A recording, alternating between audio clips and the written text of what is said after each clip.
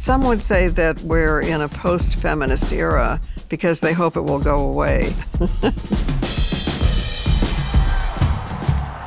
We are the revolution that is going to see to it that no one is ever born into an inferior role again because of race or of sex.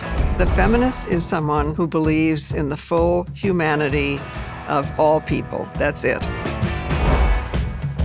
Every single individual on the planet deserves the same sovereignty over their being. And when you see that, it changes your worldview on everything. There's a long history of people taking their painful living truths and channeling that into justice. So we've never had an attitude, a cultural response here in the United States that said caregiving is actually in the public interest.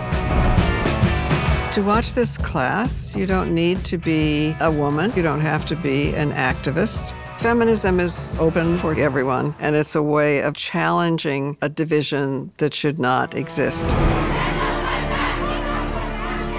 justice is different for different people. In some states, survivors are charged for their rape kits. It's such a painful waste of time to fight so hard to be ourselves. The change comes from the bottom up. It's the whole nature of even democracy itself. Whether you're talking about abortion rights, violence against women, or caregiving, all lead you to that place. What is the world we really want to have?